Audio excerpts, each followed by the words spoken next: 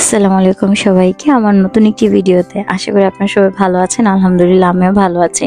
তো এটা হচ্ছে আমার দুবাই ট্রিপের দ্বিতীয় দিনের লাস্ট ভিডিও তো দ্বিতীয় দিন আমি সকাল থেকে অনেক ঘোরাঘুরি করেছি, অনেক ভিডিও আপলোড করেছি। তো লাস্ট ঘোরাঘুরি যেটা ছিল সেটা ছিল গ্লোবাল ভিলেজ বিকালের দিকে গিয়েছিলাম।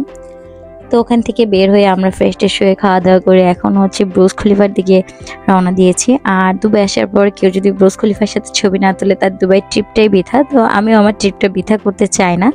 তাই আসলে আমি ব্রুজ খলিফা চলে এসেছি ছবি তোলার জন্য।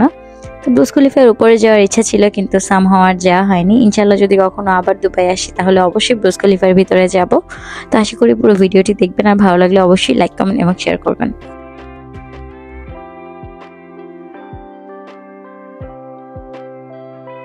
ব্রুজ আসার জন্য আমি যেটা সব থেকে বেশি ফেস করেছি সেটা হচ্ছে পার্কিংয়ের প্রবলেমটা তো আমি পার্কিং কোনোভাবেই খুঁজে পাচ্ছিলাম না। দেন হচ্ছে যে কারও সাহায্য নিয়ে দেন আমি জানতে পেরেছি যে ব্রুজ ভিজিটর পার্কিংয়ে হচ্ছে পার্কিং করা যায়। দেন হচ্ছে এখান থেকে পার্কের থেকে হচ্ছে ব্রুজ সুন্দরভাবে দেখা যায়, একদম নিচ থেকে উপর পর্যন্ত। তো আপনারা যদি কেউ গাড়ি নিয়ে আসেন, তাহলে হচ্ছে অবশ্যই ব্রুজ খলিফা ভিজিটর্স পার্কিংয়ে হচ্ছে চলে যাবেন। সেক্ষেত্রে হচ্ছে আর আপনাদের কোনো হ্যাসেল হবে না।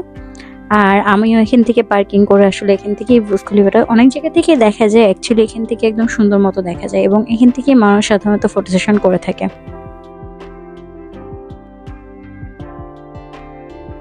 দুবাই আসার পর থেকে একদম সকাল থেকে রাত পর্যন্ত ঘোরাঘুরি। ঘুমানোর সময় ছাড়া আসলে আর রুমে যাওয়া হয় না। আর এছাড়া ফ্রেশ হওয়া ছাড়া আর কখনোই রুমে যাওয়া হয় না। তো বারাকার একদমই রেস্ট হয় না। তাই হচ্ছে ও খুবই বিরক্ত।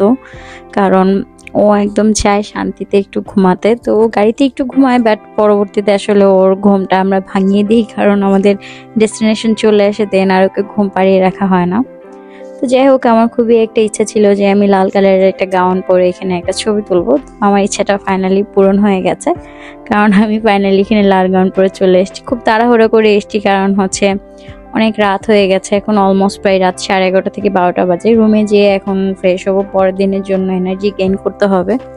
অলমোস্ট এনার্জি ডাউন হয়ে গেছে, একদম লাস্ট আওয়ারে এখানে এসেছি। দিনের বেলা আসা হয়নি, দিনের বেলা ছবিটা তেমন একটা ভালো আসে না, তাই আর আসা হয়নি।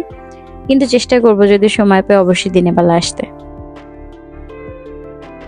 আপনারা যদি কেউ বাংলাদেশ থেকে আসেন, অবশ্যই মিউজিক্যাল ফাউন্টেনটা মিস করবেন না, কারণ মিউজিক্যাল ফাউন্টেনটা আসলে খুব সুন্দর আর এখানকার মিউজিক্যাল ফাউন্টেনটা অনেক বড়। তো আমি যেহেতু কুয়েত থেকে আসছি, কুয়েতের বেশ কয়েকটা জায়গায় মিউজিক্যাল ফাউন্টেন হয়, তাই আসলে আর আমার সামনে থেকে যেয়ে দেখা হয়নি। তো মিউজিক্যাল ফাউন্টেন অবশ্যই সারা রাত হয় না, রাত এগারোটা পর্যন্ত লাস্ট শো প্রতি আধা ঘণ্টা পর পর, অথবা এক ঘণ্টা পর পর মেবি আমার জানা নেই। তো আপনারা আসলে অবশ্যই আসলে এখান থেকে আসলে মিউজিক্যাল ফাউন্টেনটা মিস করবেন। না, আমি একদম কাছ থেকে যেয়ে দেখিনি, আমার একটা ফুটেজে হালকা একটু এসেছে মিউজিক্যাল ফাউন্টেনে পানি উঠছে বাট মিউজিকটাও আসেনি ঠিকভাবে, কারণ আমি অনেক দূরে দাঁড়িয়েছিলাম। তো কেউ যদি আসেন, অবশ্যই মিউজিক্যাল ফাউন্টেনটা মিস করেন না।